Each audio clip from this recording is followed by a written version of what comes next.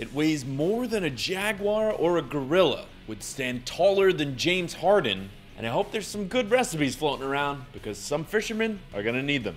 Hey guys, I'm Patrick Jones for Buzz60. Take a look at the Andre the Giant of halibut fish. It was caught with a rod and reel off the coast of a small town in Norway after a 90 minute battle. The fellow who brought it in jokes that he had his line caught in a submarine. Makes sense considering the fish is the new world record for an Atlantic halibut sitting at 513 pounds. It smashes the old record of 419. The monster fish was caught during a fishing vacation organized by Angelreisen Hamburg out of Hamburg, Germany. The anglers dragged it into port after deciding the fish couldn't be released, and they needed a crane to get it out of the water.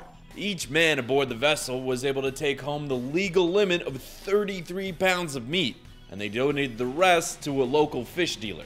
If all the parts of the fish were edible, that'd still leave almost half a pound for the small town's 950 residents. Buzz 60, now eh, you know, pass it on.